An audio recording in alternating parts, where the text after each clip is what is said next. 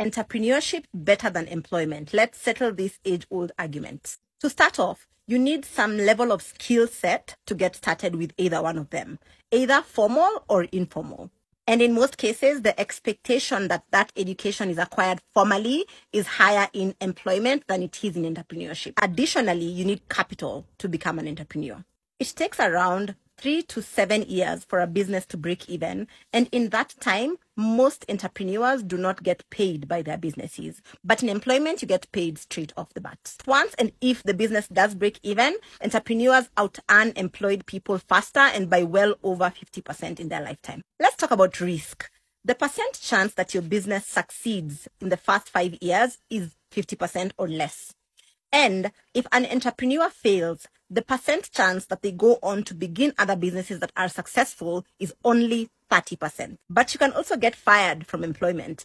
40% of adults have been fired in their lifetime. However, over 80% of those employed people who have been fired go on to get other jobs. The time you invest varies greatly by the kind of company you work for and the kind of business you have. However, employees are more likely to be able to achieve a 40 to 50 hour work week in the first five years than entrepreneurs are.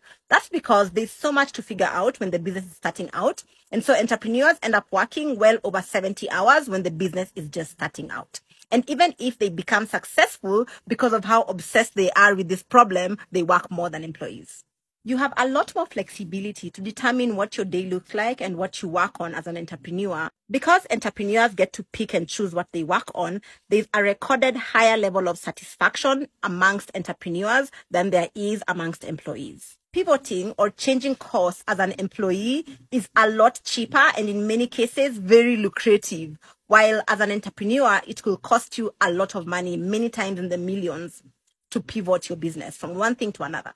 Finally, depending on your personal goals, your resources, your access to networks, the percent chance of succeeding in either entrepreneurship or employment varies greatly by person. So there's no one size shoe fits all. And so let's stop glamorizing or romanticizing one option over the other.